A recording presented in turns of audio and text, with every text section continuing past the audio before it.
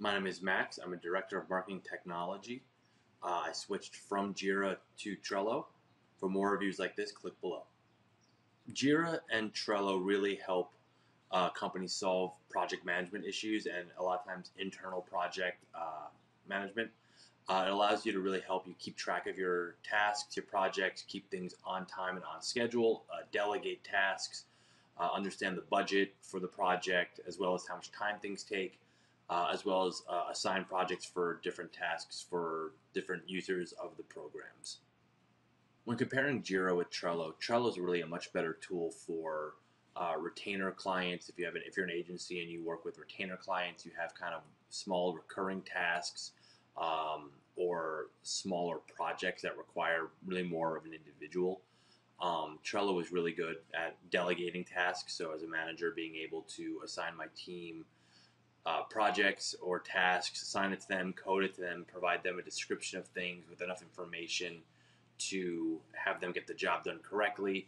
Um, it really allowed us to use a seamless tool uh, with a couple other different integrations that we wanted and it really was a much more user-friendly dashboard.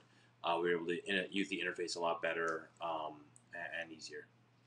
So Jira is a really powerful tool for um, project management uh, companies or teams that um, really have a big project at hand. So if you're running an agile uh, type business, or if you use scrums and uh, sprints, uh, Jira is a really powerful tool for that because you can have a lot of different tasks with subtasks and being able to track and add add uh, files and use Kanban boards and things like that.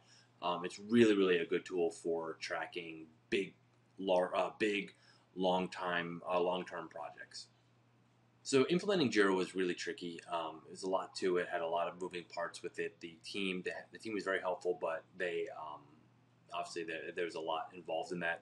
Uh, setting up Trello is really easy. It's you know pretty much self self done. Uh, there's some templates you can follow. They have a team that can help you with things. Um, it's really almost like an out of the box plug and play type of tool.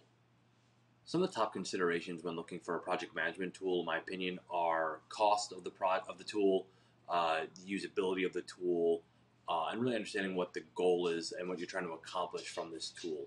Um, you know, another big thing to consider as well is how you get charged.